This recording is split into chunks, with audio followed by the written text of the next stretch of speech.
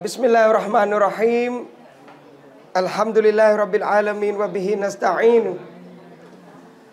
ولا حول ولا قوة إلا بالله العلي العظيم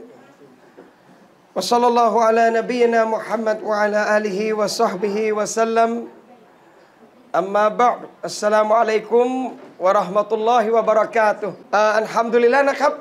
شكوت الله سبحانه وتعالى نبي نون تيراك تيميكي تكتن نخب วันนี้เรามีโอกาสนาสิฮัตกันนะครับพี่น้องในบ้านสวนฟิตเดลส์นะครับ วันนี้เวลาประมาณหนึ่งชั่วโมงอินชาอัลลอฮ์นะ เรื่องเขาว่าแม่พ่อสำคัญชะไหนนะจริงๆคำว่าแม่พ่อสำคัญชะไหนเนี่ยนะครับพี่น้อง วันนี้เราพูดถ้าหากคุยแค่ว่าสิทธิลูกต้องปฏิบัติกับพ่อแม่อย่างเดียวเนี่ยมันก็ จะคล้าย ๆ กับหัวข้อหลาย ๆ พื้นที่ที่เราเคยพูดไป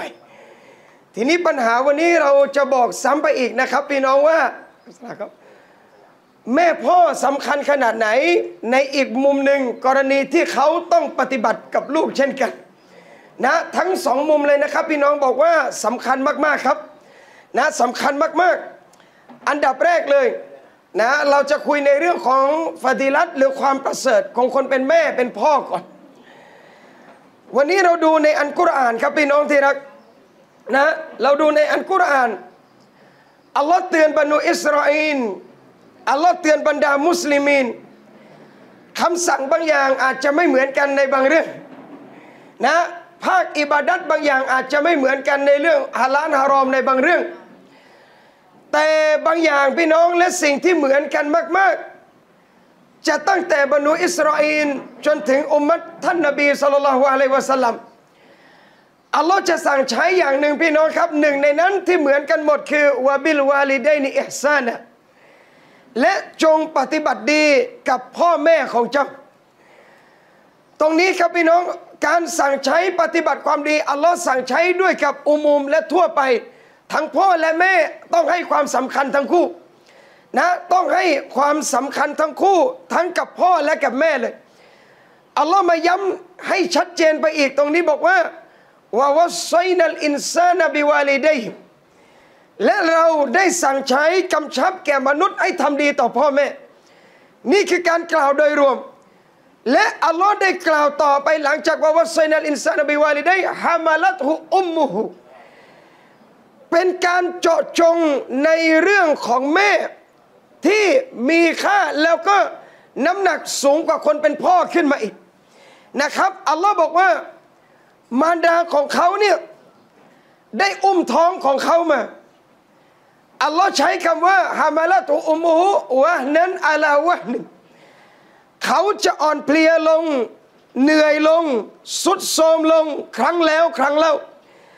ร่างกายสตรีครับพี่น้องที่รัก บอกว่าทุกครั้งที่ตั้งครรภ์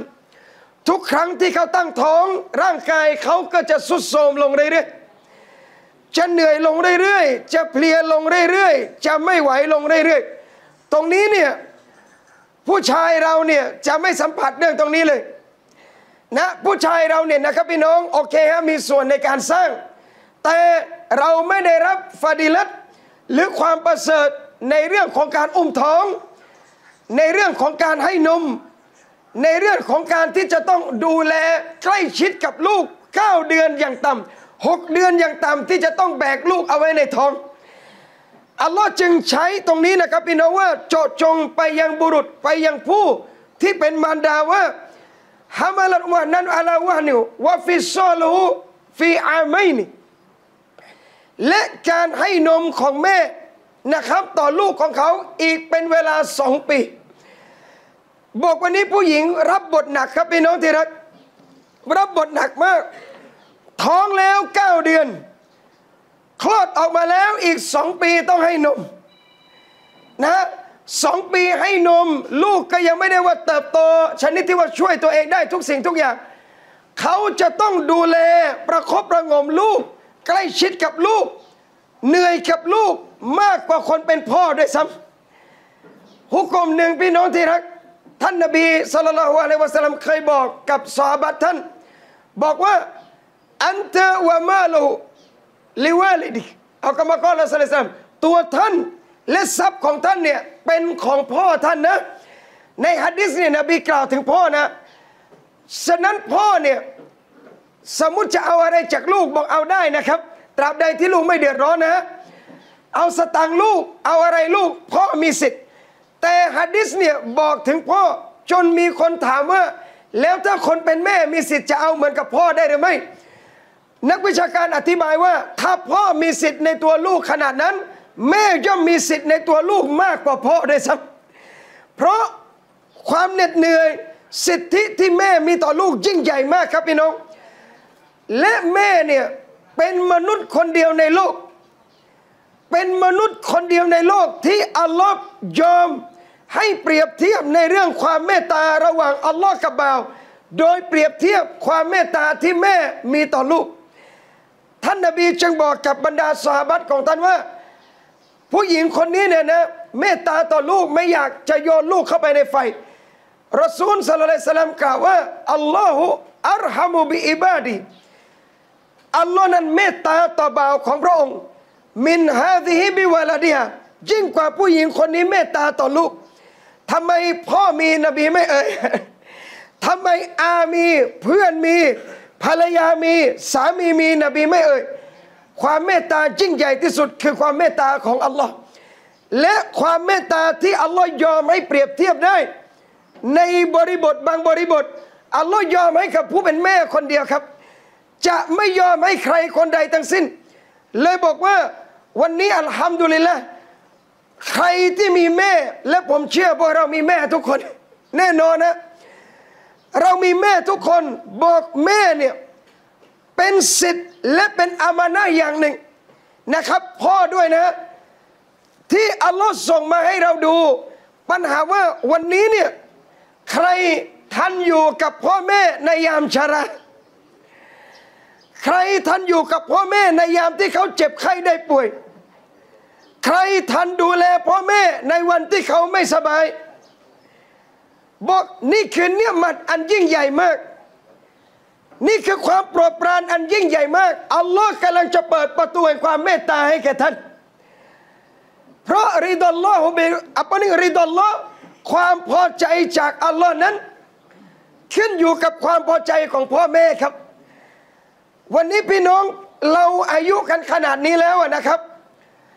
มีอายุขนาดนี้ มารดาขนาดนี้ บิดาก็ยังมีขนาดนั้น อิสลามจึงสอนและให้เราตระหนักในเรื่องตรงนี้ให้มากที่สุด จะยังไงก็ตามท่านนาบีเนี่ยจะไม่ยอมให้ลูกคนหนึ่ง หรือมุสลิมคนหนึ่งทรยศต่อพ่อแม่ของเขาเป็นอันขาดท่านรอซูลจะไม่ยอมเลยนะครับสหบัตบางท่านมาหาท่านนาบีสุลต่านสลัม ต้องการจะฮิจรัตบ้างรายงานบอกต้องการจะจิฮัดสหบัตมาหาท่านรอซูลและบอกนบีว่า ฉันจะออกจิฮัดฉันจะฮิจรัตไปพร้อมกับท่าน และฉันได้ทิ้งพ่อแม่ของฉันเอาไว้ตอนนี้เนี่ยท่านทั้งสองกำลังร้องไห้พ่อแม่ไม่อยากให้ลูกออกไป พ่อแม่มีความจำเป็นอยากให้ลูกบอกไม่อยากสงห่วงลูกหรืออะไรต่างๆ ภาระหน้าที่ จนพ่อแม่ร้องไห้ท่านนบีบอกสาบัตคนนี้บอกอิรเจอิเลฮิมะเจ้าจงกลับไปหาท่านทั้งสองฟาดฮิกฮุมะและจงทำให้ท่านทั้งสองยิ้มได้คามาอับไคตะฮุมาเหมือนกับที่เจ้าทำให้สองคนนี้ร้องไห้รอซูลพี่น้องที่รักครับ จะไม่ยอมโดยเด็ดขาด วันนี้ผมเลยว่าทั้งตัวเราและท่านมีมีพ่อและมีแม่ครับอันฮัมดุลิลละ โดยเฉพาะคนเป็นมารดา โดยเฉพาะคนเป็นมารดา เขาจะอบรม เขาจะเลี้ยงดูลูก มารดาคือส่วนสำคัญมาก ๆนะครับ ในการที่ลูกคนหนึ่งจะเป็นคนดีหรือไม่ซีฟัตหรือตบิอัตฟิตรอของผู้ชายเนี่ยมันจะไม่นิ่งกับที่ ผู้ชายส่วนใหญ่และเป็นบทบาทด้วย ก็ต้องออกไปหาปัจจัยยังชีพ อาริจาลุกวามูนอัลันนิสะอัลลอฮ์สร้างผู้ชายมาพี่น้องแข็งแกร่งกว่าสตรี ในเรื่องร่างกาย ในเรื่องสติปัญญา ในเรื่องอะไรหลาย ๆ อย่างที่เหมาะสมกับการออกไปหาปัจจัยยังชีพดังนั้นผู้ชายปกติก็จะออกไปหางานไปหาริสกีไปหาปัจจัยยังชีพ แต่สตรีจะเป็นเพศที่อยู่กับลูกมาก ๆ จึงมีสุภาษิตอาหรับ อันหนึ่งพี่น้องได้บอกเอาไว้ว่าอัลมารอัลอุมมุมัตรสะแม่คือโรงเรียนหลังแรกของลูกมารดาคือโรงเรียนหลังแรกของลูก สุภาษิตไทยบอกดูนางดูนางให้ดูแม่ เราได้ยินตั้งแต่เด็กเด็กเลยนะพี่น้องนะ เราดูแม่เพื่อจะศึกษาพฤติกรรมลูกมีส่วนครับ อิสลามก็สอน บอกว่าแม่คือโรงเรียนของลูก แม่มีบทบาทสำคัญมากในการอบรมดูแลลูก อิมามบุคารีرحمه اللهผู้ที่อยู่เบื้องหลังความยิ่งใหญ่ของมุฮัดดิสคนนี้ ของอิมามมุฮัดดิสคนนี้พี่น้องนั่นคือมารดาของท่าน ในประวัติศาสตร์ บางทีเราเจอนะครับพี่น้อง อ่านเจอก็ตกใจอะอิมามบุคอรีเกิดมาแรกๆ พิการทางสายตานะครับ ไม่ใช่คนอยู่ๆตาดีเป๊ะอะไรบทเลยบอกไม่ใช่ แม่เป็นคนขอดุอาให้ลูก ขออัลลอฮ์รักษาลูกดุอาต่ออัลลอฮ์สุดท้ายอันฮัมดุลิลละดุอามุสตะจับอัลลอฮ์ตอบรับ ไม่ใช่แค่ให้ตาดี ไม่ใช่แค่ให้อิหมามบุคอรีมองเห็นได้ แต่อัสบับของตาอิหมามบุคอรีทำให้มนุษย์ทั้งโลก เห็นสัจธรรมได้ทำให้มนุษย์ทั้งโลก เห็นสัจธรรมได้ ใครคือเบื้องหลังนั่นคือแม่ครับอิหมามอัลมัดบินฮัมบัน กว่าจะเป็นอาเลมอุลามะระดับนี้ได้ ใครคือคอยส่งเสริม และคอยดันอิมาอัลมัดให้ศึกษาแล้วกระตุ้นในการเรียนรู้ นั่นคือแม่ของท่าน แม่จะปลุกลูกแต่เช้าเพื่อไปเรียนที่มัสยิด แม่จะแต่งตัวให้อิหม่ามอามัดจนอิหม่ามอามัดไปร่ำเรียน ท้ายที่สุดวันนี้เกิดอะไรขึ้นฮะอัลฮัมดุลิลละ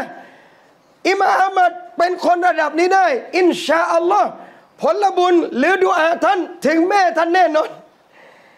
นี่คือความสำคัญของคนเป็นแม่ ผมเตือนกับตัวผมและพี่น้องเลยนะครับ บอกว่าวันนี้เนี่ย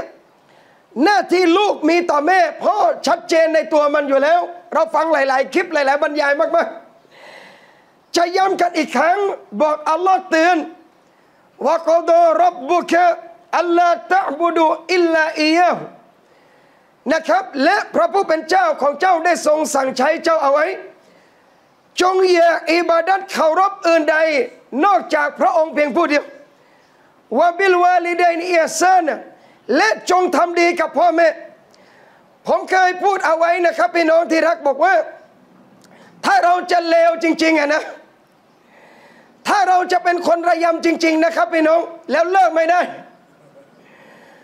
มันขอโทษนะมาถ้าพูดภาษาหยาบๆมันบอกมันไอ้นี่มันมัน ก็เกรงใจ แต่ก็พูดเถอะชิดไม่งั้นมันก็ไม่สุดว่าไอ้นี่มันเฮี้ยจริง ๆ เลยอาจารย์มันกลับตัวไม่ได้ บอกถ้ามึงกลับตัวไม่ได้จริงๆแล้วมึงอย่าเฮี้ยกับพ่อแม่ก็จบ มึงอย่าเลวกับสองคนนี้ก็จบ ถ้ามันจะยอมรับว่าตัวเองเลวนะผิดไหมผิด พวกตีนันบันแทงพวกด่ามันเอาหมดเลย ยังกลับตัวไม่ได้จริง ๆ อาจารย์ ตอนนี้ผมกำลังอินชาอัลลอฮ์อยู่บอกอินชาอัลลอฮ์เนี่ยเอาละมึงจะเลวกับใครก็แล้วแต่นะ กับสองคนนี้อย่าเลวเลยเด็ดขาด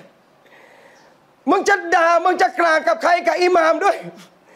กับอาจารย์กับโต๊ะครูกับผมหรือกับใครก็แล้วแต่ ถ้ายังกลับไม่ได้จริง ๆ นะ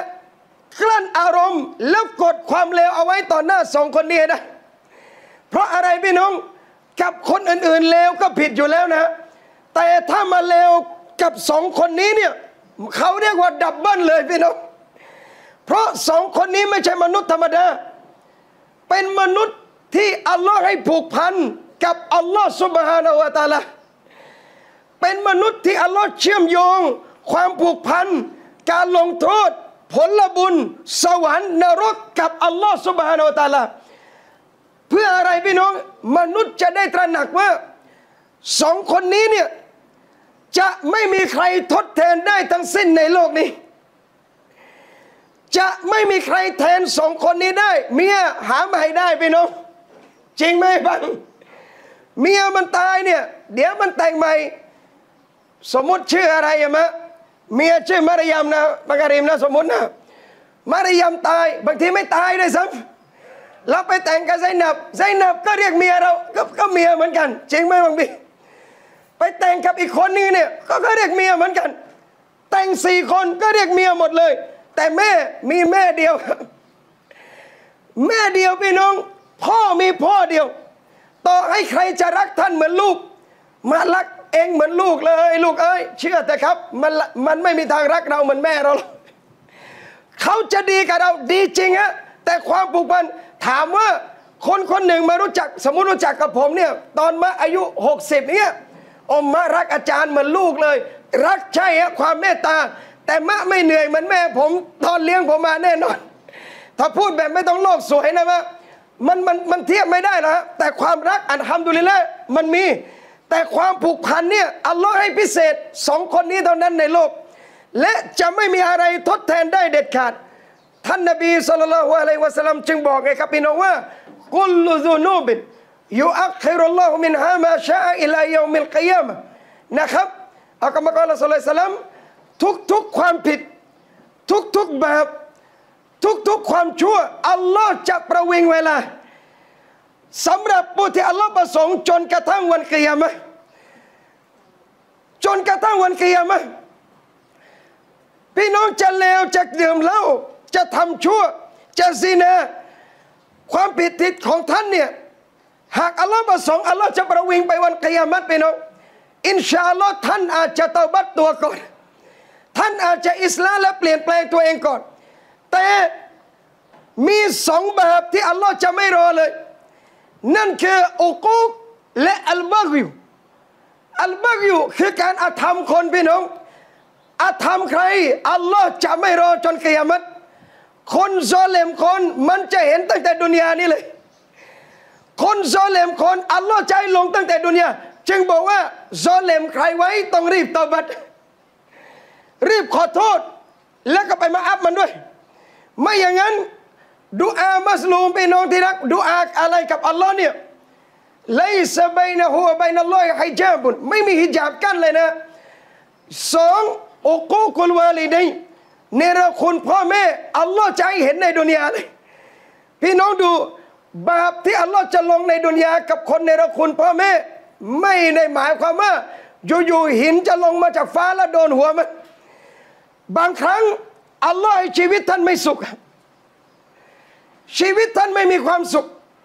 เดี๋ยวมีปัญหากับลูก เดี๋ยวมีปัญหากับภรรยา เดี๋ยวมีปัญหาทางเศรษฐกิจ เดี๋ยวติดไอ้นั่น เดี๋ยวเป็นไอ้นี่ใจว้าวุ่นหมด นี่คือหนึ่งในบาลาพี่น้องมุมินจึงต้องเช็คตัวเองไงครับว่า วันนี้ถ้ารู้สึกภารกิจหรือธุรกิจหรือชีวิตมันรู้สึกลำบาก เช็คตัวเองก่อนเช็ครัฐบาล เข้าใจไหมเราจะรีบด่าคนก่อนจะด่าตัวเอง เราจะรีบด่าลุงก่อนด่ากูบุญในยามนะแต่ผมไม่ใช่พักไหนนะพูดผมรวมไปนะ เราจะรีบด่าคนก่อนนะมึงอะไรยังไง มุสลิมจะไม่สอนแบบนั้น มุสลิมจะสอนว่าอะไรพี่น้อง เวลาเจอปัญหาในชีวิตกลับมาดูตัวเองฮะเราผิดอะไรกับอัลลอฮ์หรือเปล่า อิสติฟารหรือเปล่า ขอโทษอัลลอฮ์หรือไม่บอกอัสตัฟิรุลลอฮ์เอ้าเราไม่มีแล้วอัสตัฟิรุลลอฮ์ดูระหว่างเรากับคนรอบข้างเรากับพี่น้องเรากับเพื่อนสำคัญที่สุดกับพ่อแม่ กับพ่อแม่พี่น้องที่รักครับ เลยบอกกับพี่น้องและตัวผมนะครับ พี่น้องว่า เมื่ออัลลอฮ์สั่งใช้ ให้ทำความดีนะ อัลลอฮ์กลับมาย้ำเตือนเข้าไปอีกบอกว่า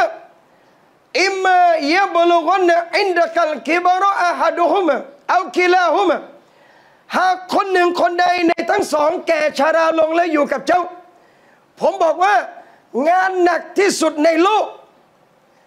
ไม่ใช่งานธุรกิจที่เราทำแล้วล้มละลายธุรกิจล้มยังไง ถ้าเราไม่ล้มลุกสู้ใหม่ได้พี่น้อง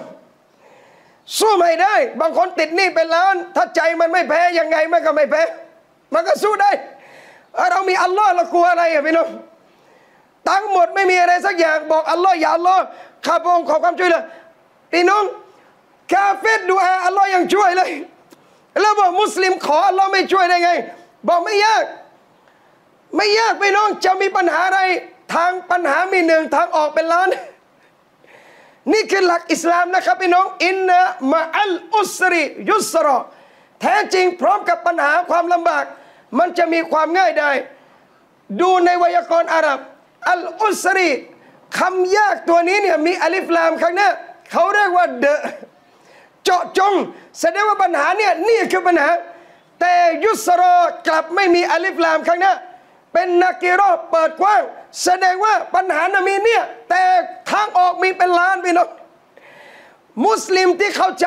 อย่ารีบด่วนสรุปปัญหาชีวิต ด้วยการคิดสั้นด้วยการท้อแท้ปัญญาอ่อนนะพี่น้อง คนคนหนึ่งเครียดนั่งเป็นเป็นซึมเศร้าผูกคอตายเงี้ยนะอูซุบิลลามินซาลิก บอกอย่ากลัว งานดุนยาไม่ใช่งานหนัก มันไม่ใช่ยาก งานยากที่สุดคืออะไรรู้ไหม ที่หนักที่สุดคืออะไรรู้ไหมครับพี่น้อง งานหนักที่สุดแล้วทดสอบมากที่สุด คือการดูแลพ่อแม่ตอนแก่ชนะยิ่งเจอเคสพ่อแม่ติดเตียง พี่น้องเอ้ยหลายต่อหลายคนที่โดนทดสอบ เพื่อนไปเที่ยวกันเขาไปไม่ได้ เขาจะไปไหนกันเราไปไม่ได้ ต้องอยู่ดูแล คนมีพี่น้องเยอะอันทำดูแลยังได้สับเปลี่ยน เจอผมคนเดียวนี่พี่น้องพี่ก็ไม่มี น้องก็ไม่มี เมียคนเดียวอีก ลูกสามมันทำได้แต่มันเล็กทั้งนั้นเลยพี่น้องแล้วถามว่าเจอเคสอย่างเงี้ยนะกับลูกทุกคนอัลลอฮ์สอบไหมสอบ แล้วเคสที่ผมไปเจอคนที่เฝ้าไข้คนติดเตียง มันเครียดบ้างนะมันเครียดนะบางเครียดปุ๊บบางทีมันมีอาการไอ้นู่นไอ้นี่ บอกนี่คืออัลลอฮ์สอบอะบอกอัลลอฮ์สอบ صبرได้ไหม อดทนได้ไหม ท้ายที่สุดอดทนได้فإن الجنة هي المأوىสวรรค์เป็นของท่านเลย ถ้าพี่น้องไปเจอกับอัลลอฮ์ในวันกิยามัตแล้วย้อนกลับมาได้ ให้เลี้ยงดูแม่เป็นเวลาสองปีตอนติดเตียงแลกกับเฟรดาวส์เอาหรือไม่อัลลอฮ์อาจจะย่าอัลลอฮ์ฉันเพิ่มเป็นสามปีก็ได้ แต่ไปวันกิยามัตเราเห็นแล้ว แต่ไม่ทันจะกลับมาแล้วพี่น้อง ลูกที่สวยที่สุดพี่น้องที่รัก นั่นคือลูกที่ไม่ดูแลพ่อแม่ ในวันที่พ่อแม่แก่ชราลงลูกมีพี่มีน้องหลาย ๆ คนพี่น้องครับ อย่างน้อยที่สุดต้องสับเปลี่ยนอะไม่ใช่ขี้เกียจนะ แต่อามานาเนี้ยต้องได้กับลูก ๆ ทุกคน เพราะความดีต้องแบ่งกับลูก ๆ ทุกคน เหมือนมรดกเลยพี่น้อง มรดกทำไมไม่ยอมให้ไอ้บังคนเดียวอะหรือไอ้เด็กคนเดียวอะไม่ได้ กูด้วยกูกับลูก และที่ปะเจ็บมึงไม่ดู เคสที่เกิดเยอะนะครับพี่น้องนาอูซุบิลลามินซาลิก เวลาแม่เจ็บ พ่อเจ็บ หายหมดเลย ไอ้บังก็มีธุระไอ้จูก็มีธุระไอ้นี่ก็มีธุระไอ้นั่นก็มีธุระท้ายที่สุดใครไม่มีธุระไอ้ลูกที่เกนี่แหละไม่มีธุระแล้วผมเจอมาพี่น้อง มาชาอัลลอฮ์ ท้ายสุดลูกที่ได้ดูแลพ่อแม่ จนพ่อเสียชีวิต เป็นลูกที่เคยทำให้พ่อเจ็บใจที่สุดตอนมันหนุ่มป้าไล่มันกี่ครั้ง พ่อด่ามันกี่ครั้งบอกมึงเนี่ยหัดด่าแล้วด่าอีกด่าแล้วก็ไม่เอาไหนกว่าเพื่อนกับมันนี่แหละ ท้ายที่สุดกลายเป็นคนมาดูแลพ่อได้ จนวินาทีสุดท้ายของชีวิตพ่อ บอกอัลฮัมดุลิลละบัง นี่คือกัฟฟารอที่อัลลอฮ์ปลดบาปท่านอินชาอัลลอฮ์ นี่คือความยิ่งใหญ่ที่อัลลอฮ์ให้ปะร้องไห้กับบังเนี่ยผมว่าตั้งแต่วัยรุ่นเนี่ยสิบกว่าปีเนี่ยกับบังมาดูแลป้าสองปีสุดท้ายเนี่ยจริง ๆ มันทดกันไม่ได้หรอกครับ แต่นี่คือสุดท้ายที่อัลลอฮ์เห็นว่าบางอย่างคนที่เลวที่สุดในบรรดาลูก อาจจะเป็นลูกที่ดีที่สุดสำหรับท่านในวินาทีสุดท้ายก็ได้ และพ่อแม่นะครับพี่น้องทุกคนเลย เท่าที่ผมสังเกตนะฮะดูอานหนึ่งที่พ่อแม่จะขอ คนเป็นปะเป็นมะยิ่งเวลาอายุชราเยอะ จะขอกับอัลลอฮ์พี่น้อง สิ่งหนึ่งที่เราได้ยิน อย่าอัลลอฮ์อย่าให้ฉันเป็นภาระกับลูกๆเลย หากจะไปขอพระองค์ได้โปรดเอาไปอย่างง่ายได้พ่อแม่จะขอแบบนี้ครับพี่น้อง พี่น้องคิดว่าปามาเนี่ย เวลาปะนอนติดเตียงเนี่ย เขามีความสุขไหมครับ เวลาเห็นลูก ต้องเดินสารวนที่เตียงเขาเนี่ยพี่น้องคิดว่าเขาสุขไหมปะพูดไม่ได้ พ่อพูดไม่ได้ แม่พูดไม่ได้ นอนติดเตียงอย่างเดียว แต่สติสัมปชัญญะรับรู้ได้หมด พี่น้องผมถามจริง ๆ ว่าเขาสุขไหมครับ เวลาเห็นลูกต้องลางานแล้วมาอยู่ตรงข้างเขาเห็นลูกต้องจากกับครอบครัวแล้วมาอยู่ข้างๆเขาพ่อแม่สุขไหมครับพี่น้อง สุขอาจจะดีใจที่ลูกมา แต่ลึกๆ พ่อแม่ก็สงสารลูก รายได้ลูก อาชีพลูก การงานลูก ห่วงลูก แต่พ่อแม่จึงขอดุอาไงครับพี่น้องว่า อย่าให้ฉันเป็นภาระหนักแก่ลูกเลยอย่าลลอหากพระองค์จะเอาฉัน ขอพระองค์เอาฉันไปอย่าให้ลูกลำบากจะขอดุอาพี่น้อง แต่อัลลอฮ์จะต้องการในสิ่งที่อัลลอฮ์ประสงค์ อัลลอฮ์จะดูแลพี่น้องที่รักครับ เลยบอกกับพี่น้องวันนี้ว่า อัลฮัมดุลิลละพี่น้องเราและผมด้วย จริง ๆ เราเนี่ยนะ ผิดกับมะบ้าเนี่ยเยอะมากเยอะมาก เยอะจริง ๆ พี่น้อง เยอะจนขออภัย เฉพาะวันอีดไม่ไหวบ่อยมาก และผิดขนาดไหน บอกทำไม่รู้สึกเสียใจนิดเดียวเอาละเอาโทษเลย เด็กบางคนจะบอกอาจารย์ เราจะอธิบายกับแม่ได้ไหม ในบางปัญหามะไม่มีเหตุผล บอกป๋าไม่มีเหตุผล บอกไม่ต้องหาเหตุผลกับคนแก่ คนแก่ไม่มีเหตุผลเจ็ดสิบขึ้นไปแล้วไม่มีเหตุผลครับทำไมอะอัลลอฮ์จึงมาโฟกัสไงว่า ตอนيبلغن عندك الอัลกิบารตอนแก่ชรานะ ทำไมต้องโฟกัสตอนแก่พี่น้อง คนเวลาแก่จะกลับไปเป็นเด็กอีกครั้ง คนเวลาแก่จะไม่มีเหตุผลอีกครั้ง เราเจ็ดขวบมีเหตุผลไหมครับพี่น้อง เราห้าขวบมีเหตุผลไหม ไม่มีป่ามะย้อนกลับไปตอนเราเจ็ดแปดขวบห้าขวบ ไม่มีเหตุผลใดๆทั้งสิ้น ดังนั้นเราเลี้ยงดูป่ามะพี่น้อง อินชาอัลลอฮ์ให้เลี้ยงดูด้วยหัวใจ ให้เลี้ยงดูด้วยความรัก และอย่าลืมนะครับพี่น้อง ความสำคัญที่สุดเวลาลูกๆนะขอดุอาหรืออะไรก็ตามพี่น้องที่รัก พี่น้องสังเกตไหมว่าอัลลอฮ์เนี่ยให้เราขอดุอาตามตัวบทเนี่ยความหมายยิ่งใหญ่มากครับดุอาให้พ่อแม่ ถ้าท่านฟังและวิเคราะห์ แล้วก็คิดตามอายัดกุรอานอัลลอฮ์ให้เราขอดุอาไงพี่น้อง อันดับแรกบอก รบเบียฟิรลีโอ้พระผู้เป็นเจ้าของข้าพเจ้า ขอพระองค์ได้โปรดยกโทษให้ข้าพระองค์ด้วยสองวาลิวาลิไดยและได้โปรดยกโทษให้กับบิดามารดาของข้าพระองค์ จริง ๆ ขอแค่นี้ก็เข้าใจแล้วนะครับยกโทษให้ข้าพระองค์ให้พ่อแม่ข้าพระองค์ด้วยอัลลอฮ์ต้องการยิ่งกว่านั้นพี่น้องอัลลอฮ์ต้องการยิ่งกว่านั้นวะรฮัมฮุมา ขอพระองค์ได้โปรดเมตตาท่านทั้งสอง บอกแค่นี้ก็จบพี่น้อง อภัยโทษกับเมตตาอาเครัตเราต้องการสองอย่างนี้แหละครับเราต้องการสองอย่างจริงๆพี่น้องใครได้รับสองอย่างนี้ชนะแล้วอัลลอฮ์ยกโทษให้อัลลอฮ์เมตตาท่านสวรรค์แน่นอน อินชาอัลลอฮ์สองอย่างเองพี่น้องที่เราสู้ในดุนยาวันนี้เนี่ยอยากได้สองอย่างจากอัลลอฮ์การอภัยและความเมตตาแค่นั้นเอง บอกวาฮัมฮุมา ได้โปรดเมตตาท่านทั้งสองด้วยแค่มารับบายานีเหมือนกับที่ท่านทั้งสองเลี้ยงดูข้าพระองค์มาซอกีรอตั้งแต่ตอนที่ข้าพระองค์ยังเล็ก ๆ อยู่ทำไมอัลลอฮ์ต้องโฟกัสไปตอนที่เราเล็ก ๆทำไมต้องเอาความเมตตาให้อัลลอฮ์เมตตา เหมือนกับแม่ที่เมตตาเลี้ยงดูเราตั้งแต่เล็ก ๆ พี่น้องต้องย้อนกลับไปดู ตอนลูกเล็กๆพี่น้องครับ แม่อุ้ม แม่ดูแล ลูกทำแก้วแตก ลูกจิกแม่ ลูกตีแม่ ลูกงอนแม่ แม่ทำอะไรกับลูก แม่ยิ้มอย่างเดียว แม่โอแม่โกรธนี่คือความเมตตาพี่น้อง นี่คือรอมัดที่แม่ไม่สามารถจะทำอะไรลูกได้เลย บอกผู้หญิงในโลกนี้นะครับพี่น้องที่รักและยอมตายแทนท่านได้จริง ๆอันเนี้ยคนเป็นแม่นี่แหละครับ เราไม่นับเรื่องเมียนะวันนี้ไม่พูดเรื่องเมียนะเมียเราเราเราเราเว้นไว้ก่อน แต่ความรักแม่มันยิ่งใหญ่กว่าความรักของเมียแน่นอน คนยิงปืนมาหนึ่งนัดเนี่ยเมียอาจจะวิ่ง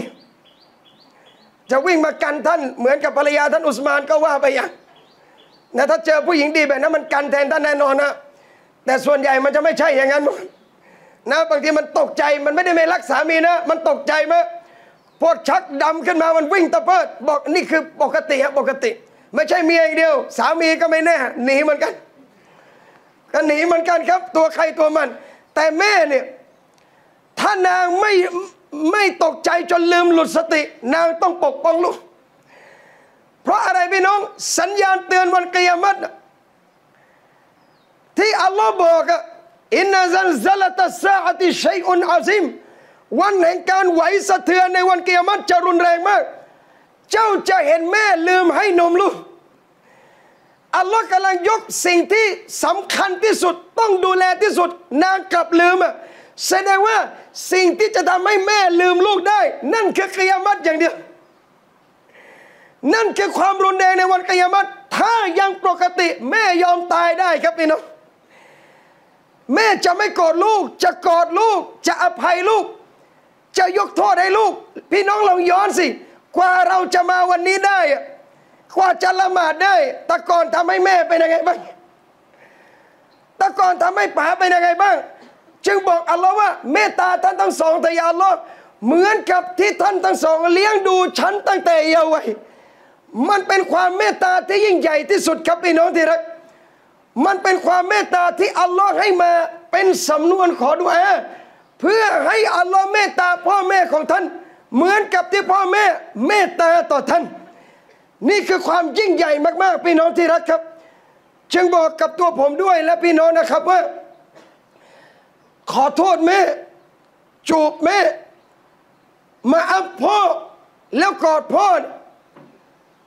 ไม่จำเป็นต้องรอวันอีดเลยครับพี่น้อง คนที่น่ารักแล้วสุดยอด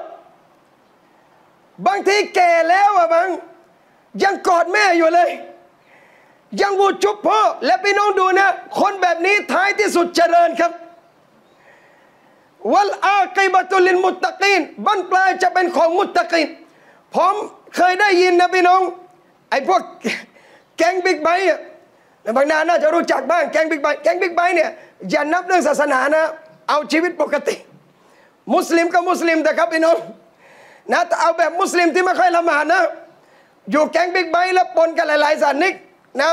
พี่น้องไม่ต้องถามว่าเขาเขาเขาไม่ได้บิดสายบุญ ไปทำบุญมัสยิดไม่ใช่เขาบิดไปแล้วเขาไปชีวิตของเขาเนี่ยเขาเป็นแบบนั้นจริงๆนะจะคนละแนวกับบางนองบางนองบางนองนี่ไปงานมัสยิดยันทำดีแล้วแค่บิดไปอย่างนั้นนะ แต่ต่อให้มีแฟน ต่อให้ไม่ละหมาด ต่อให้กินเหล้าต่อให้ทำชั่วยังไงอย่างอื่นก็แล้วแต่ ไอ้บางคนนี้เนี่ยวันไหนที่มันทะเลาะกับแม่ เชื่อไหมครับ มันจะไม่ออกจากบ้านเลย เพื่อนชวนไปก็ไม่ไป ชวนให้ออกก็ไม่ออก ถ้าวันไหนเถียงหรือทะเลาะกับแม่ ไอ้บางนี่ไม่ออกเลยพี่น้องจากบ้าน ตราบใดที่ยังไม่ขอโทษแม่ก่อน ก็ถามว่ามันจะไปอะไรขนาดนั้น เพราะละหมาดก็ไม่ค่อยเท่าไหร่อยู่แล้ว แฟนก็มีหญิงเต็มไปหมดพี่น้องไอ้เรื่องมัสยิดอยู่ในวงอย่างนั้นอะบอล้วบังทำไมไม่ออกล่ะทำไมวันนั้นถ้าวันไหนเถียงกับแม่ไม่ออกจากบ้านคำตอบหนึ่งครับพี่น้อง เราไม่คิดว่าคนบิ๊กไบจะพูดอย่างนั้นผมหรือเขาเนี่ยกลัวว่าถ้าออกไปแล้วตายกลางคัน เกิดไปรถพลิกคว่ำแล้วอุบัติเหตุตายในสภาพที่ยังไม่ได้ขอมาอัพแม่เขากลัวอัลลอฮ์จะลงโทษทำไมแล้วเขาไม่ละหมาดไม่กลัวครับพี่น้องโอเคละหมาดเนี่ยมันเป็นสิ่งชัดเจนอยู่แล้ว แต่คนถ้ามีจิตสำนึกขนาดนี้ได้ วันหนึ่งไม่ยากในการกลับมาละหมาดครับอินชาอัลลอฮ์แต่คนที่ไม่มีจิตสำนึกอันนี้คือพื้นฐานนะ ไม่ใช่คนไม่ต้องเป็นคนที่เคร่งละหมาดห้าห้าเวลาก็ได้ ซิฟัตหรือบีอาฟิตรอความเป็นมนุษย์เนี่ยทำดีกับแม่มีอยู่แล้ว ต่อให้ไม่ใช่มุสลิม ถ้าพื้นฐานมีขนาดนี้ได้ วันหนึ่งไอ้บางนี่มีสิทธิ์เตาบัตกับละหมาดอ้าเวลาสบายเลย อินชาอัลลอฮ์นั่นคือการให้เกียรติกับมารดา และกับบิดาของเรา พี่น้องที่รักเราจึงพยายามนะครับ อินชาอัลลอฮ์อันไหนทำได้ทำเถอะครับ เงินฝืดเดือนไหน ชักในกระเป๋าส่งให้แม่ จริง ๆ นะพี่น้อง แก้ปัญหาเศรษฐกิจในบ้าน เงินไม่มีเดือนไหน ชักหน้าไม่ถึงหลังวันไหน บริจาคทั่วไปก็ได้บุญอยู่แล้ว พี่น้องลองให้กับแม่ดู แล้วบอกอย่าเกณฑ์เชื่อมั่นมั่นใจอินฟากฟีสบิลิละปกติ อัลลอฮ์เพิ่มผลบุญไม่รู้กี่พันกี่ร้อยเท่า แต่วันนี้ให้กับแม่พี่น้อง พี่น้องชักแม่ให้หนึ่งร้อยบาทกับแม่ ให้หนึ่งพันบาทกับแม่ตามศักยภาพที่เราจะทำได้ มะเวลาได้เงินจากลูกอะก็ดีใจมั้งแต่แม่ไม่ได้ไปซื้ออะไรแล้วมาเก็บตังค์จะเยอะเท่าไหร่ท้ายที่สุดให้ลูก แต่ความรู้สึกที่ลูกคิดถึงเขาเนี่ยมาบอกยาซากัลลอฮุคอยรันขออัลลอฮ์ตอบแทนเจ้าลูกพี่น้องคิดว่าอะไรอัลลอฮ์จะให้กลับมาหลังจากนั้น ริสกีที่บรักัต ชีวิตที่มีความสุข และดุอาของแม่เป็นดุอามุสตาจับดุอาหนึ่งที่อัลลอฮ์จะไม่ผลักกลับเลยครับพี่น้องดุอาของพ่อที่ขอให้กับลูก วันนี้พ่อแม่เนี่ยดุอามุสตาจับที่สุดคือดุอาพ่อแม่ที่ให้แก่เราพี่น้องมีปัญหาอินชาอัลลอฮ์ทำดีแก่ท่าน และอัลลอฮ์จะตอบรับดุอาของท่าน แล้วถ้าท่านดีกับพ่อแม่อัลลอฮ์จะตอบรับดุอาของท่านเช่นกัน เหมือนสาบัตท่านนบีสุลต่านสลัมพี่น้องที่รักที่มีเกียรติครับซาดบินอบีวากอสเป็นคนดีกับแม่มาก เป็นนักรบนะครับพี่น้อง แต่เป็นคนรักดีกับแม่มากๆ ถึงแม้ว่าแม่จะไม่ใช่มุสลิม ถึงแม้ว่าแม่จะไม่ใช่มุสลิม ท่านดีกับแม่มากๆอูไวส์บินอามิดอัสลาฟุสซอลเลเป็นتابعينพี่น้อง เด็กยากจน เด็กไม่มีฐานะ ไม่มีค่าทางสังคมเลย แต่นบีบอกถ้าเจอกับอูไวส์บินอามิรนะ ถ้าสามารถขอให้เขาขออภัยโทษจากอัลลอฮ์ท่านได้فليفعل فافعلจงทำจงบอกให้อูไวส์ขอاستغفارให้อัลลอฮ์จะรับดุอาของอูไวส์พี่น้องที่รักท่านอุมัรบินขอตอบเจอกับอูไวส์บอกอูไวส์ขอดุอาให้อุมัรด้วยอูไวส์บอกท่านเป็นคอลิฟะ ท่านเป็นสหบัตฉันต่ำกว่าท่านทำไมไม่ให้ฉันขอดุอาให้ ท่านอุมัรบอกรอซูลได้บอกถึงเจ้า ว่าเจ้าคือคนที่ดุอาถูกตอบรับ เพราะอะไรละหูวาลิดะฮัวบิฮาบรุเพราะอูไวส์มีแม่อยู่คนหนึ่ง และอูไวส์เป็นคนทำดีกับแม่มากๆ ด้วยอัสบาบนี้แหละพี่น้อง อัลลอฮ์ตอบรับดุอาอูไวส์เลย ตอบรับเลยครับ อูไวส์ขอดุอาสุดท้ายขอให้อุมัรเป็นขอตอบ และพี่น้องดูคนดีๆเขาเป็นนะเวลาขอดุอาเสร็จ ไม่ต้องเยอะ ถ้าสมมุติว่าอูไวส์ขอดุอาให้เรา เล่นมั่นใจว่าอัลลอฮ์รับแน่นอน มีความสุขไหมบ้างอัลลอฮ์แทบจะไม่ต้องทำอะไรแล้วครับพี่น้องชีวิตนี้อันฮัมดุลิลละเพราะเป็นดุอาที่นบีรับรองว่าอัลลอฮ์ตอบแน่นอนอุมัดหลังจากขอเสร็จพี่น้อง ถามอูไวส์ว่าเจ้าจะเดินทางไปไหนอูไวส์ตอบ ฉันจะไปอิรัก อุมัดบอกว่าเอาอย่างนี้ เดี๋ยวฉันจะส่งจดหมายไปให้เจ้าเมืองอิรัก ให้ดูแลท่านอย่างดี ดูแลเจ้าอย่างดี แขก VIP ของคอลิฟะมาชาอัลลอฮ์พี่น้องจากเด็กยากจน แล้วก็เด็กนอนข้างถนน เสื้อขาดขาดรับจ้างเลี้ยงแพะโอ้ยอุมัรบอกเดี๋ยวฉันจะส่งจดหมายให้ แก่ผู้นำอิรัก ดูแลเจ้าอย่างดี พี่น้องโอ้ยตอบมาคำเดียวว่า อย่าเลยอุมัรอามีรุลมุมินินฉันอยากอยู่กับ เป็นแบบชาวบ้านธรรมดาทั่วไป มาชาอัลลอฮ์นี่คือคนดีพี่น้องคนที่เขากลัวในหัวใจตัวเอง คนที่เขาระวังในหัวใจตัวเอง อย่าว่าแต่เอาไว้เลยเป็นผมก็ไม่รอดครับ ไม่รอดยังไง ถ้าคนระดับคอลิฟ้าไม่ต้องคอลิฟ้าหรอกมั้งแค่ประธานชมรมอะไรอิหม่ามัสจิดเสนอแบบนั้น เราก็ทำดุลิแล้วแล้ว แต่อูไวส์คือคนที่ระวังตัวมาก ท่านยอมแบบนั้น นี่คือคนที่อัลลอฮ์ตอบรับดุอาและสำคัญที่สุดเขาดีกับแม่ครับ อิสลามจึงห้ามเด็ดขาดเนรคุณแม่ เนรคุณพ่อ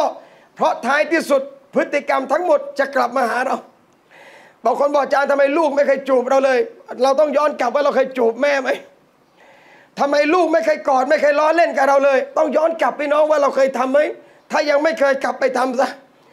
ถ้าทำแล้วอันทำดุลิละ แต่ถ้ามะเสียไปแล้ว หมดโอกาสตลอดชีวิตนะหมดโอกาสตลอดชีวิต เลยบอกว่าวันนี้นะครับ อันทำดุลิลในฐานะ ลูกทำดีกับทั้งสองให้เยอะ ขอโทษกับท่านทั้งสองให้เยอะกอดท่านเยอะๆในวันที่ร่างกายท่านอุ่นอยู่ เพราะวันไหนที่ร่างกายท่านเย็น การกอดของท่านจะไม่ยังประโยชน์อะไรเลยกับชีวิตเรากอดคนอุ่นๆ มันดีกว่ากอดมายัดนะครับพี่น้อง กอดแม่ที่เป็นมายัดแม่ดูอาให้ลูกอะไรไม่ได้แล้ว แม่โอบลูกไม่ได้แล้ว แม่ทำอะไรไม่ได้แล้ว แต่กอดแม่ในขณะที่ยังอุ่น แม่จะดูอาให้ลูกเสมอพี่น้องครับ และคนที่แม่ดูอาให้อินชาอัลลอฮ์บารักัตแน่นอนอันนี้คือในโซนที่ลูกทำกับแม่นะ อันนี้ผมฝากในช่วงท้าย สิ่งที่แม่พ่อต้องทำกับลูกด้วยนะเตรียมอย่างหนึ่งนะครับพี่น้อง อันนี้สำคัญมากๆ เราคนเป็นพ่อเป็นแม่นะครับ เรามีลูกสาว เรามีลูกสาวนะแจนะเรามีลูกสาว เรามีหลานสาว เขาบอกว่าจงเตรียมลูกเราให้พร้อม การเตรียมลูกให้พร้อม เหมือนกับการท่านเตรียมใจลุซอเลในอนาคตข้างหน้าเยาวชนที่ซอเลจะออกมาด้วยกับเมื่อมีแม่ที่สมบูรณ์ อะไรคือความพร้อมของลูกสาวเราครับพี่น้อง คนเป็นแม่และคนเป็นพ่อ เราต้องพยายามเอาลูกเนี่ยนะ อินชาอัลลอฮ์อบรมดูแลสำคัญที่สุดเรื่องอัคลากและเรื่องมารยาทท่านอุมัรเป็นขอตอบครั้งหนึ่งพี่น้องที่รักครับ มีคนมาร้องเรียนกับท่าน บอกว่าลูกฉันเนี่ยเนรคุณฉัน ลูกเนรคุณต่อฉันอามีรุลมุมินิน จะให้อุมัรลงโทษลูก ท่านอุมัรก็เรียกลูกมาครับพี่น้อง แต่ก่อนที่อุมัรจะลงโทษ ลูกคนนี้เป็นเด็กฉลาด และถามท่านอุมัรกลับว่า แล้วอะไรคือสิทธิที่พ่อต้องทำกับฉันบ้างนี่ขนาดในดุนยานะครับพี่น้อง ลูกมันตอบกลับแบบนี้ยังหนาวเลยนะ อะไรคือสิทธิที่พ่อต้องให้กับฉันบ้าง อุมัรบอกอย่างแรก สิทธิที่ผู้ชายต้องให้แก่ลูกในอนาคต ต้องเลือกแม่ที่ดีให้มาชาอัลลอฮ์พี่น้องอันดับแรกเลือกแม่ที่ดีให้นั่นคือการเลือกภรรยาที่ซอนแรกมาก่อน ผมเพื่อนผมไม่ใช่ผม เพื่อนผมเจ้าชู้ ผมก็ศึกษากับมันไม่ได้เหมือนกันนมันทำยังไงของมันเจ้าชู้มึงคุณนะเจ้าชู้มากพี่น้อง มันเลยบอกว่าในชีวิตเจอคนสวยมาเยอะมากนะในชีวิตเจอคนสวยเยอะมาก แต่บอบั้นปลายชีวิต กลับอยากได้คนดีอยู่ข้างๆมาชาอัลลอฮ์มาคนสวยเจอมาเยอะ แต่ท้ายที่สุดอยากได้คนดีข้างๆ บอกอะไรฮะ บอกนี่คือสิ่งที่นบีสอนไงครับพี่น้อง เลือกอันดับแรกท่านรอซูลบอกฟัสฟัสบิซาติดดิน สิทธิแรกที่เราต้องให้กับลูก ทั้งที่ยังไม่มีลูกเลย เลือกภรรยาที่ดีเพื่อเตรียมเป็นแม่ที่ซอลิฮะในวันข้างหน้าผู้หญิงบางคนพี่น้องที่รักครับ ความสุขของเขาไม่ได้ต้องการเป็นเจ้านายหรือเป็นผู้จัดการออฟฟิศบริษัท ผู้หญิงคนหนึ่งมีความสุขที่สุดกับการได้สอนกุรอานลูกตัวเองแค่นั้นเอง บอกความสุขของคนคนหนึ่งไม่ได้ต้องการอยากได้เงินเดือนสามสี่หมื่นหรือเจ็ดแปดหมื่นแต่สตรีคนหนึ่งบอกว่า ฉันอยากจะเป็นคนที่สอนกุรอานให้ลูกของฉันในอนาคตข้างหน้า เจอผู้หญิงแบบนั้นนะครับพี่น้อง ถ้ามันตั้งมาห้าแสนนะ แล้วถ้าไหวใจแต่งเถอะครับ แต่ถ้าไม่ไหวผ่อนเถอะครับ ผ่อนมาผ่อน นาวีโก้ยังผ่อน ผู้หญิงดีขอเขาผ่อน บอกบางก็อยากแต่งกับตัวเองนะ แต่ไม่ไหวได้เรียกแพงเหลือเกินสามแสนผ่อนได้ไหม ได้จะบังอันทำดุลิละผ่อนจ่ายฮะผ่อนจ่าย เพราะอะไรรู้ไหมพี่น้อง ผู้หญิงที่เนียดว่าอยากจะสอนกุรอานให้ลูก หาไม่หายากมากๆครับ เพราะส่วนใหญ่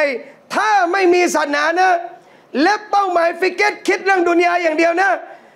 สุดท้ายท่านจะได้ผู้จัดการคนหนึ่งมาอยู่ในบ้าน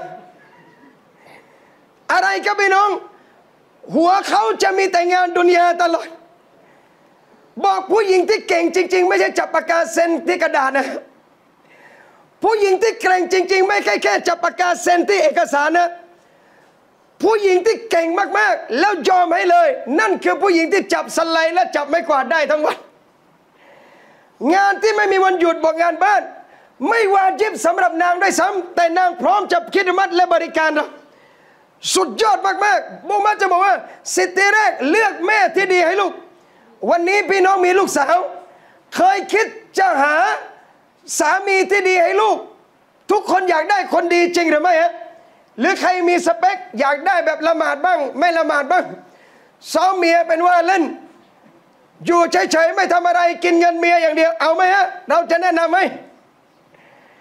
บอกไม่เอาอยากได้สามี صالحอยากได้ลูกเขยดีๆ ลูกเขยดีหาไม่ยาก ปัญหาลูกท่านต้องดีก่อน เพราะอัลลอฮ์บอกไงพี่น้องالطيبات للطيبين สตรีดีคู่กับชายดี الخبيثات للخبيثينยิงชั่วคู่ชายชั่ว เราจะเตรียมลูกเราให้صالحةพี่น้อง เพื่อจะได้คนดีเข้ามาในชีวิต บางคนบอกอาจารย์ลูกเราดีแล้ว แต่ได้สามีไม่ดี ไม่ละหมาดเชื่อแต่ครับ วันหนึ่งมันก็ต้องหยุด ไม่หยุดได้กลับมาละหมาด สุดท้ายมันก็ต้องเลิก เลิกอย่าเสียใจพี่น้อง อัลลอฮ์ส่งสามีมาใหม่ที่ดีกว่านี้แน่นอน แต่สำคัญที่สุดนาอุบิลลามินซาลิก เราอยากได้อยู่แบบถาวรทำตัวให้ดีครับพี่น้องทำตัวให้ซอและอัลลอฮ์ส่งแน่นอน ผู้หญิงมุสลิมะบางคนพี่น้องเครียด แม่แม่มะบางคนเครียดอัลลอฮ์จะลูกหนูไม่ไปไหนอะไรอยู่กับเขาอยู่ในบ้านอย่างนี้ตลอดเลย แล้วมันจะมีแฟนยังไง บอกมาเอ้ย แถวตลาด 16 ที่ออกไปข้างนอกตลอด มันก็ยังไม่ได้แต่งงานดิวัยรุ่นที่มันเกินบอกว่ามาเอาอย่างนี้นะไอ้คู่เราหรือตักดีรเราอัลลอฮ์จะให้เนี่ยถึงเวลานะพี่น้อง บางทีไม่ต้องวิ่งหา มันจะมาหาท่านเองนะ ครูผมคนหนึ่งนะ ครูครูมานานเป็นครูนะ ผมถือไปเป็นครูมาก ๆالله يرحمน่าจะเสียชีวิตไปแล้ว ไม่ได้จบด็อกเตอร์ ไม่ได้จบอะไรแต่เป็นกระเป๋ารถเมย์นะมั้งอยู่ซอยพักดีธรรมซอยวะครับคูขวาแถวมัสยิดกุโบตอยอนตอนนี้อยู่ไหนแล้วไม่รู้ขอรอดเมตตาน่าจะเสียชีวิตไปแล้ว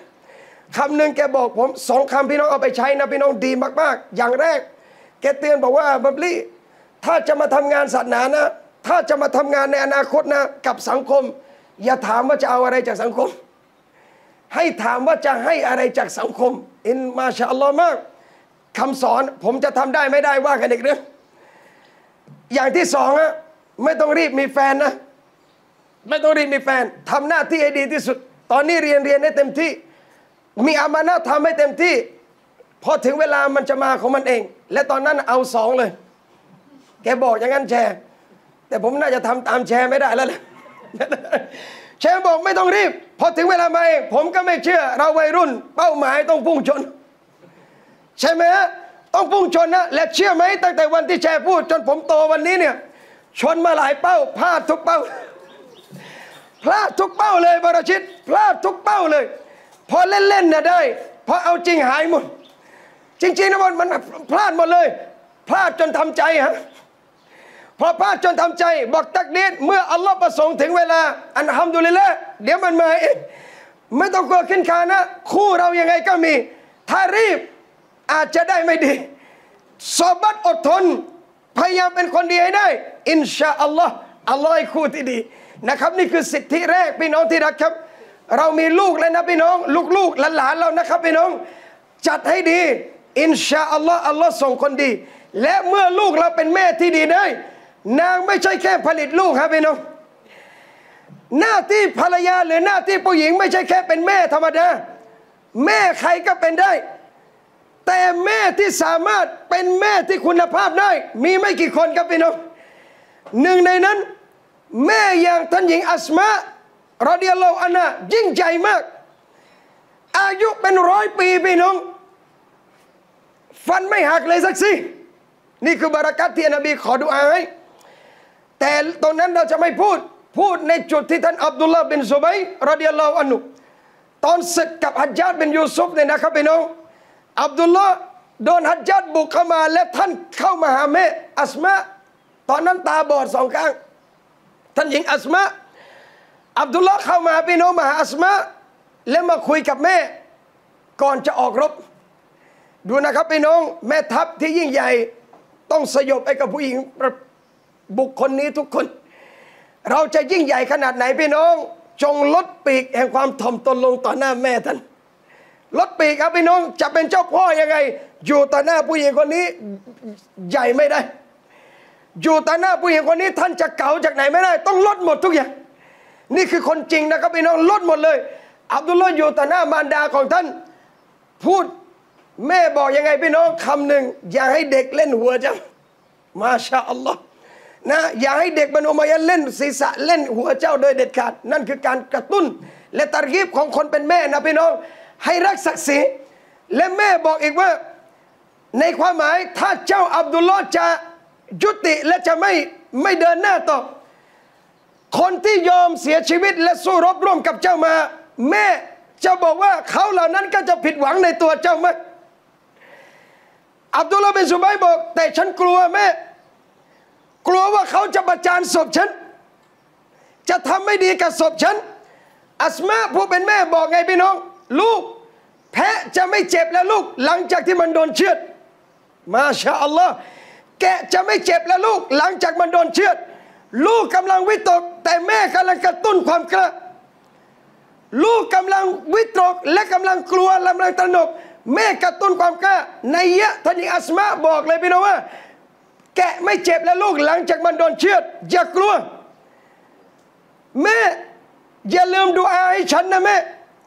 คำสุดท้ายดูแลบอกอย่าดูอาอย่าทิ้งดูอาให้ฉันนะแม่ท่านอิอัสมาบอกละอัดะฮุอับดันแม่จะไม่ทิ้งดูอาให้แก่เจ้าตลอดกาลกอดลูกครั้งสุดท้ายพี่น้อง หญิงตาบอดเมื่อกอดเท่านั้นแหละฮะมือไปโดนเสื้อกรอที่ท่านอับดุลลอฮ์ใส่ท่านอิอัสมาผู้เป็นแม่ถามทันทีว่านี่เสื้ออะไรลูก นี่อะไรลูก พอท่านรู้แล้วว่านี่คือเสื้อกรอฉันท่านอิงอัสมาตอบว่า นี่ไม่ใช่เสื้อของคนที่อยากชฮีดนี่ลูก มาชาอัลลอฮ์พี่น้อง แม่นะครับกำลังจะปล่อยลูกออกไปรบ นี่ไม่ใช่ชุดของคนที่อยากชฮีดใส่นี่ลูก แกะออกพี่น้องแม่ตัดรีบให้ลูกแกะเสื้อกรอออก ทำไมฮะนี่คือการอบรม อย่าลืมว่าท่านอิงอัสมาคือใคร ลูกสาวของอบูบักอัสซิดดีกแล้วสามีอัสมาคือใคร อัซซุบัยบินอาวามหนึ่งในสิบชาวสวรรค์พ่อของอับดุลลอฮ์คือใคร คืออัซซุบัยบินอาวามปู่ของเขาตาของเขาคือใคร อบูบักอัสซิดดีกแล้วป้าน้าของเขาคือใคร ท่านหญิงไอชาตระกูลสูงส่งมาสายเข้มแข็ง ลูกจะอ่อนแอได้ยังไง พี่น้องอับดุลลาห์ถอดออก อย่าทิ้งดูอาให้ฉันนะแม่ แม่จะไม่ทิ้งดูอาให้เจ้าตลอดการشهيد في سبيل اللهอับดุลลาห์บินซุบัยرضي الله عنهนี่คือพลังของคนเป็นแม่ฮะนี่คือพลังของคนเป็นแม่คอนซาอ์พี่น้องนางมีลูกห้าคนคอนซาอ์ออกไปสนามรบด้วยพร้อมกับลูก อยู่ในค่าย คืนนี้เรียกลูกมาหมดทุกคนทั้งห้าคน นั่งคุยกับลูก พี่น้องแล้วบอกกับลูกตารีบให้ลูกเนี่ยจงเจริญรอยตามบิดาของเจ้านะตารีบลูกทั้งห้าคน อย่ากลัวนะลูกในวันรุ่งขึ้น เพื่ออัลลอฮ์ชัยฟีซาบิลิละห้าคนพี่น้องห้าศพชัยลูกชายทั้งหมดเลยนางคือผู้หญิงที่แกร่งมาก ผมจึงบอกกับพี่น้องว่า ผู้หญิงคือเพศที่ยิ่งใหญ่มากๆ แม่ไม่ใช่แค่คลอดลูกออกมาอย่างเดียวพี่น้อง แต่เราต้องคลอดวีรบุรุษออกมาด้วย เราต้องคลอดวีรบุรุษออกมาพี่น้องครับ คลอดวีรสตรีออกมา ครั้งหนึ่งพี่น้อง ในยุคอัสลาฟุซอละนักรบท่านหนึ่งพี่น้อง ผมจำชื่อไม่ได้ แต่ผมจำละกอบว่าอัลมุกัดดิซีครั้งหนึ่งนั่งอยู่ในเมรอบเมรอบเราดอนะในเราดอที่มัสยิดนบีนั่งอยู่ ก็มีคนเข้าไปหาท่าน แล้วถามคำหนึ่งว่า ทำไมท่านจึงใช้เวลาทั้งหมดในชีวิตเนี่ยหมดกับการจิฮัดชอบกับการจิฮัดแกก็บอกว่าฉันจะเล่าให้ท่านฟังนะครับ เรื่องนี้นานมากแล้วครับพี่น้อง ถ้าผมจำผิดพลาดต้องขอมาติดติดขัดขัดแกก็เล่าว่าครั้งหนึ่งนะในขณะที่ฉันกำลังออกจิฮัดในสถานที่หนึ่ง มีผู้หญิงคนหนึ่งเดินมาหาฉัน แล้วก็มอบเชือกเส้นหนึ่งให้ แล้วบอกว่าท่านจงเอามันไปทำบังเหียนมารไอเชือกผูกตรงนี้มานะครับ รับเอามา ผู้หญิงนะเขาก็ออกไปพี่น้องสักพักมีเด็กอายุประมาณ 15 ปีนะ15 ปี ยังเด็กมากพี่น้องมาหากับท่านอัลมุกัดดิซีนี้แล้วก็บอกว่าฉันขอออกไปร่วมจิฮัดด้วย ฉันขอออกไปด้วย อัลมุกัดดิซีนี่เป็นแม่ทัพนะครับพี่น้อง แล้วก็มองเด็กคนนี้ ยังไม่มีความชำนาญด้าน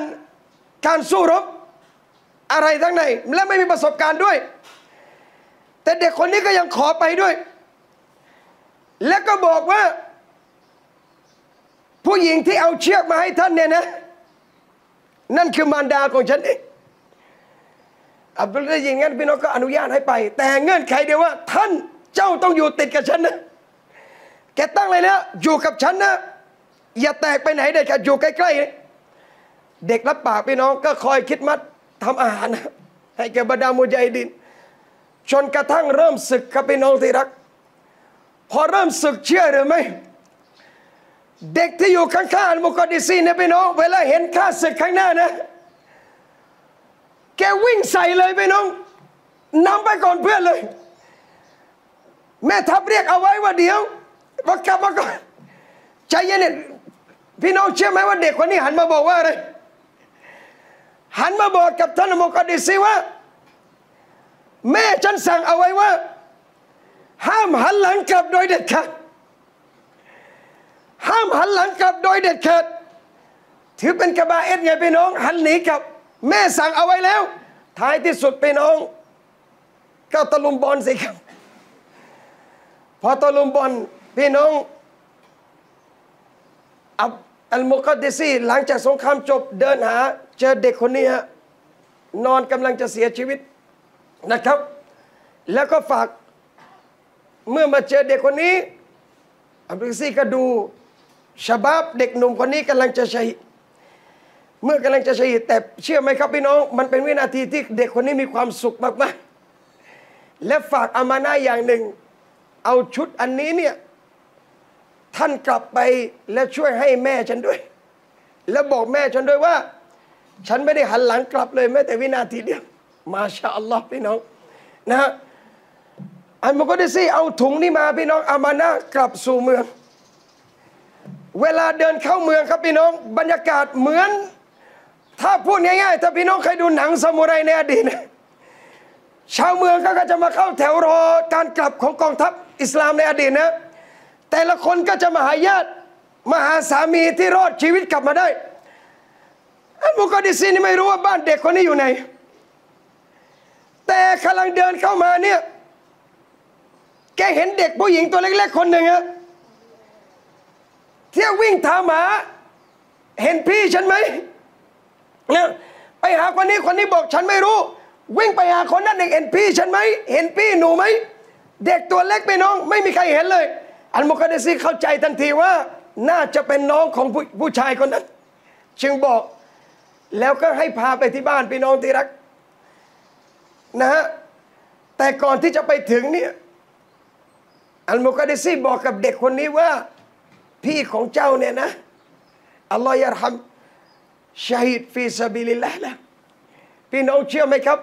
ทันทีที่บอกพี่شهيد น้องคนนี้ล้มลงเด็กนะ แล้วก็เสียชีวิตทันทีความตกใจและประกอบกับอายันของเด็กด้วย ท้ายที่สุดมุกดิซีไปถึงบ้านของผู้หญิงคนนี้พี่น้องที่รัก แล้วก็อัสสลามุอะลัยกุม เจอผู้หญิงแกร่งคนหนึ่งเปิดประตูออกมานะแล้วก็วาเดซี่ไม่พูดอะไรมาก ส่งเสื้อนี้ให้กับแม่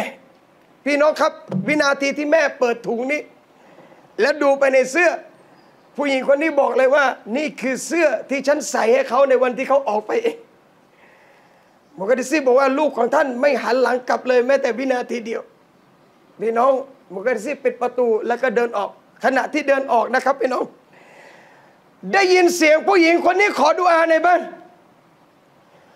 บอกيا اللهวันนี้ฉันให้แก่พระองค์ไปแล้ว สามีของข้าสามีشهيد في سبيل الله ฉันให้แก่พระองค์ไปแล้วลูกของข้าแล้ววันนี้เหลือข้าพระองค์เพียงผู้เดียวยาลลอฮ์หากอัลลอฮ์ต้องการ ฉันก็พร้อมใจชีวิตฉันเช่นกัน นี่คือคนที่เรียกว่าแม่ที่แกร่งพี่น้องที่รัก เมื่อนางแกร่งขนาดนี้ นางจึงสร้างวีรบุรุษออกมาได้ และยิ่งใหญ่จนถึงประชาชาติยุคสุดท้ายอินชาอัลลอฮ์จึงบอกวันนี้นะครับพี่น้องพ่อแม่ทุกคนนะ ถ้ารักลูก ถ้ารักลูกต้องเตือนลูก ต้องดุลูก ต้องว่าลูกเวลาเขาทำผิด เพราะการปล่อยลูก และการไม่ดุลูก มันไม่ใช่แนวทางการตัดเบียของอิสลามแน่นอน ผิดต้องลงโทษ ถูกก็ต้องเชื่นชม แค่นั้นนะเราจะไม่ใช้วิถีทางที่หลุดออกจากอิสลามเราออกไปนะครับ อินชาอัลลอฮ์นะ แล้วเมื่อนั้นแหละครับพี่น้อง เราจะเป็นผู้หญิงที่แกร่งที่สุด ผู้หญิงต้องแกร่งนะครับพี่น้อง ผู้หญิงต้องแกร่งให้มาก ผู้หญิงจะโดนทดสอบหลาย ๆ เรื่อง แต่ขอให้อดทนให้ได้ และสอบัตให้ได้ และรางวัลจะยิ่งใหญ่สำหรับพวกเราแน่นอนอินชาอัลลอฮ์นะครับอะนำเลยมาชาอัลลอฮ์แม่นั่งๆให้นั่งขอบคุณมากได้ได้ฟังมาได้วันนี้อัลฮัมดุลิลละอัลฮัมดุลิลละประทับใจต้องจำไว้นานๆนะอัลฮัมดุลิลละครับอย่าซักกันลอครับอัลฮัมดุลิลละสามให้คุกครับอะลัยกุมสลาม แหม่ผมได้รับเกียรติไอ้ยอดเดินมาหาถึงที่ อยู่อยู่มาจีจิตอันทำดีแล้วครับไม่จีจิตวิทยาทาน ครับขอรอตอบแทนปัญญาด้วยสอนหนักก็ด้วยอามีนครับ อันทำดีแล้วขยมอ๋ออายะบังนอมอ่าเราเคยเจอที่บ้านแล้วบังนอม แต่ตอนนั้นแชร์ยังหนุ่มกว่านี้นะอันทำดีแล้วมาชาเราขอเราเมตตานะครับว่าขอให้มีสุขภาพแข็งแรงและได้ฮุรุนอิน 70 ท่านอามีนอามีนนะ อามีนครับอันทำดีแล้วตอบรับเลยย่อพอบอกตอนไอไอตอนแข็งแรงนะไม่เท่าไหร่นะยอนะพอบอกฮูรุนอิน 70นี่ป๋ายกมือเลยอันนั้นดีแล้วขอรับตอบแทนนะครับป๋าขอบคุณมากขอร้อยแข็งแรงอามีนครับยังไงขอบคุณพี่พี่ๆน้องๆทุก ๆ ท่านนะครับ อินชาอัลลอฮ์ก็มาถึงที่นี่ได้ก็เก่งแล้วล่ะครับพี่น้องไม่หลงนี่ก็ถือว่าท่านสุดยอดแล้วนะนำตุลิลละมากอินชาอัลอฮ์เดี๋ยวคืนนี้ถ้ามีโอกาสได้เจอที่ลำลำลำไส้ฮะลำไส้นะ ลำไส้นะครับอินชาอัลลอฮ์นะครับขอเราตอบแทนพี่น้องกันแล้วขอให้อ่าได้เป็นแม่เป็นพ่อที่แกร่งกันทุกคนนะครับอินชาอัลลอฮ์นะอินชาอัลลอฮ์ครับยาซากุมุลลอฮ์คอยรอนนะครับ มีมีอะไรจะถามไหมมะอาจจะเชิญครับนี่เชิญครับ มีมีสองข้อที่จะถามนะคะ อาจจะมาอัพก่อนเพราะว่าเป็นมัวลับแล้วก็ครับผมครับค่ะคำว่าซอเลมแปลว่าอะไร อะไรนะครับซอเลมแปลว่าอะไรซอนเลมใช่ไหมครับ คือซอนเลมนี่การอาธรรมนะครับ เป็นผู้ที่อาธรรมเขานะครับค่ะเข้าใจนะครับค่ะ แล้วก็แล้วก็อีกอย่างหนึ่งคืออ่ามาอยู่เพิ่งมาอยู่หนองจอกได้เดือนกว่าแต่ว่ามาอยู่หนองจอกได้เดือนมาอยู่หน้องจอกได้เดือนกว่าค่ะ มีครอบครัวไหมครับขอโทษไม่มีค่ะ ตัวคนเดียวนั่นนี่ค่ะครับ แล้วก็คืออย่างอย่างตอนรับอิสลามใหม่ ๆ ก็ครูครูที่ที่มัสยิดเขาจะบอกว่าอ่าเราห้าม หวังสิ่งใดๆนอกจากอัลลอฮ์แต่ว่ามาเห็นที่นี่เห็นคนซื้อหวยเยอะมาก ไม่ได้ยินเลยครับ แต่ว่ามาอยู่ที่หนองจอกเห็นมุสลิมซื้อหวยเยอะมาก เดี๋ยวนะห้ามขอสิ่งอื่นใดจากอัลลอฮ์ใช่ที่ในในบริเวณที่นี้อยู่ใช่ไหมครับ ที่ครูและปรากฏว่ามุสลิมอะไรเยอะนะครับ ที่หนองจอกซื้อหวยเยอะมาก ก็เลยงมุงสลิมว่าซื้อหวย ก็เลยงงว่าตกลงมุสลิมแต่ดั้งเดิม ยังไงซื้อได้ แล้วทำไมครูสอนเราว่า ซื้อไม่ได้ คือเวลานี้ไปเรียนเนี่ยเขาบอกซื้อไม่ได้ถูกไหมครับ แต่ไอภาคปฏิบัติจริงๆเนี่ยมุสลิมซื้อเต็มเลย และเป็นมุสลิมเดิมด้วยขอโทษนะแมะถ้าผมพูดภาษาบ้านๆกลับบ้านดีกว่ากูอายอายมากเลยเนี่ยอายนะมังริมนะขอบคุณมากนะนี่นะจะมาชาลอแล้วแม่นี่นี่เจอแค่ซื้อหวยเนี่ยเด็ก ๆนะครับ น่าให้บางนานพาไปทัศนศึกษา บางซอยนี่ไม่ไม่ใช่ซื้อหวยแล้วนะ เลยบอกว่าจริง ๆ ไอ้หวยเนี่ยจะมุสลิมเดิมมุสลิมใหม่ห้ามทั้งนั้นนะครับ ส่วนคนที่ซื้อเนี่ยมันไม่เกี่ยวกับกับศาสนาฮะมันเกี่ยวกับอีหมานเขาอะครับนะความความความไม่เข้าใจเขาไม่จริง ๆ ไม่ใช่ไม่เข้าใจนะเข้าใจแต่พลังในการปฏิบัติยังไม่มีครับ ฉะนั้นอิชาลอฮ์นะครับนี่ต้องพยายามเตือนเขาด้วยนะฮะไม่กล้าไม่กล้า ไม่เป็นไรจะนี้ค่อยๆค่อยๆนะ เตือนเตือนด้วยการกระทำอะสมมุติว่าเขามาขอชวนเอาไม่สักเบอร์แทงสักสองตัวไหมเราบอกอ๋อพอดีหนูเรียนมาว่าอิสลามเราทำไม่ได้อะค่ะ พอแล้วไม่ต้องไปสอนเขาเยอะ เดี๋ยวเขาจะว่าไอ้นี่รู้เยอะเพิ่งมึงเข้าอิสลามไม่นะนะครับ พอเจอเคสนี่นะพี่น้องผมนึกถึงเคสนึงครับมีมีพี่น้องมวลับเนี่ยนะเป็นผู้ชายเข้ารับอิสลาม แต่ก่อนติดยานะครับ จนสมองเพ้อเลยนะ เข้าโรงพยาบาลมือนกับจิตเวชอะไรครับมันมันมันเพ้อนะ บอกเข้าอิสลามสาเหตุจากอะไร จากฮับบตุสซาดะเรางงแปลกมากฮะคนอื่นเข้าอิสลามเนื่องจากการดาว่า อันนี้เข้าอิสลามจากกินฮับบตุสซาดะบอกทำไมอะเพื่อนเอาฮับบตุสซาดะไปให้บอกว่ามึงกินสิไอเนี่ยรักษาได้ทุกโรคยาสุนนะนบียกเว้นแก่กับตาย เอาไม่อยู่ นะถ้าฮับบตุสซาดะรักษาแก่ไม่ได้ ไม่ต้องไปดึงหน้าให้เสียเวลาฮะเพราะดึงยังไงสุดท้ายก็แก่ บอกเลือกแก่กระตายเอาไม่ได้ แกมากินนะพี่น้องอันทำดูแล้วไม่ถึงเดือน สมองกลับมาปกติได้ รับอิสลามเลย แกบอกตอนแรกผมก็ไม่ชอบอิสลามนะอาจารย์ บอกทำไมอะดูสกปรกเอาแกบอกดูสกปรก ไม่รู้มันก็ไปดูมุมที่มันสกปรกนะพี่น้อง แต่พอมาดูแล้วอัลหลักอิสลามมันสวยงามมาก กินฮับบาตุสซาดะกลับมาเป็นเหมือนดี หายพี่น้องเข้าอิสลามเลย แล้วก็คำถามอาจารย์ครับ ไอตอนนี้ผมจะเลิกยานะพระพุทธจะเลิก ไม่กินแล้วไอ้น้ำท่อมเมาสี่คูณร้อยเจ็ดคูณแปดเลยเนี่ย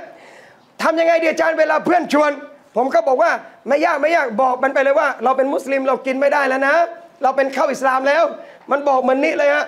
ไอที่ชวนผมนะมุสลิมไอที่ชวนนะมุสลิมเออไปต่อไม่เป็นเลยฮะคราวนี้ บอกไอ้ที่ชวนนะมุสลิมฮะกินละกินเหล้ากินอะไรมุสลิม เลยบอกแบบนี้นะฮะหลักการสวยงามฮะแต่คนปฏิบัติจะดีหรือไม่อยู่ที่คนไม่ได้อยู่ที่หลักการสำคัญเราดีไปให้ให้เต็มที่นะครับใจเนี่ยนำตัวนี้แหละครับครับ แล้วก็อยากรู้เกี่ยวกับประวัติท่านนบีแล้วก็